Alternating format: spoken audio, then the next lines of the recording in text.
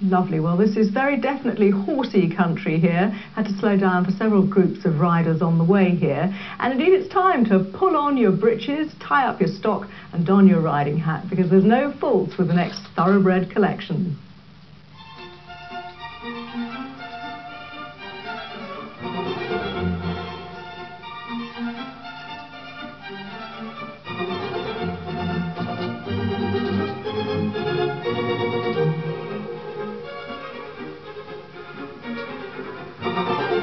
Jackie Radwanski bought her first model horse from a jumble sale when she was 12. The collecting bug took hold and now she has a whole stable full of champions. A great collection, Jackie. Thank Do you you. love real live horses too? Yeah, I've got a great passion for horses. And why the collection then? I am actually allergic to real horses, which stops me from getting anywhere near them without coming up in a rash. So this is um, my substitute. The next best thing. The next best thing. And no mucking out of stables Exactly, yes. You can stay in bed and dust them occasionally. so how many do you have altogether? um, probably about a hundred or so, yeah.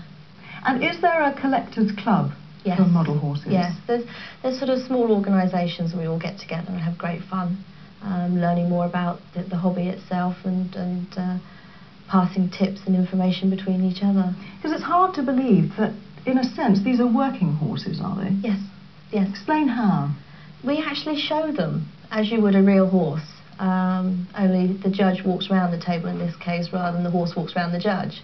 Um, they actually get uh, judged on conformation, setup, breed type, if they've been customised, um, whether it's a, a good customising job. Um, Customising. One thinks of cars being customised, but you can customise horses you can like this? customise horses, yes. You can get um, a horse that you would buy from a shop, for example, and if you don't like it, you can repaint it. You can move its legs or its head, um, put a proper mane and tail on. Um, the- the possibilities are endless. It's up to your imagination what you want to do. So when you compete, do you actually send in photographs like this in order to show the judges? That's right. They're set up um, with backdrops and um, all the uh, things you would find normally within that activity. Um, and then they, they take a photograph, and then the person who's holding the show actually judges from that photograph whether the horse is in sense real and doing that performance. So there's lots of rosettes at the front there. Quite clearly, you're a winner. I try. yeah, I mean, I've, I've had a great success over the few years, um, and, and I love it. I'm hooked. so when you're competing amongst people, how soon do you get to know the results? Photo shows where you send the photographs off, you tend to know within about two weeks by the time the results have been compiled and what have you.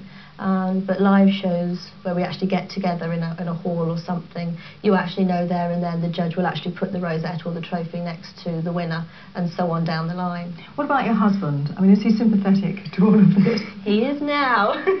he wasn't to begin with. He thought it was a very girly, childish hobby to begin with. And um, but now he's coming round to the idea. It's either live with them or live without me. So. And he actually helps.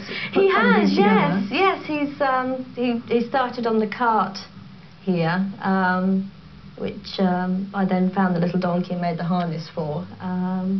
And um, he's thrilled to bits with it. He, he thinks it's it's lovely. So he's learning new skills when it comes to tooling leather. Yes, he's just You're got something of an expert too now. Yes, he's sort of uh, been watching me closely and has um, just learnt how to tool leather. So you really can let your imagination run wild. I mean, you- can you be like a stud manager and actually breed from these? Yes, you can, um, for example, if you have a mare and you wish to have a foal from her, you can assign a sire for that foal. Um, it's like it's paper breeding.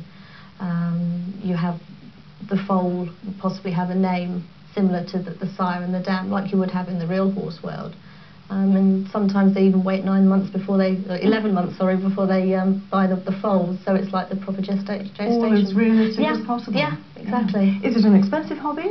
It can be, yes. Um, it can range from 50p to a couple of hundred pounds, even more. Well, a marvellous collection. Thanks very much for bringing them in. Thank you. Thanks, Jackie. And that's time to start work on this week's Living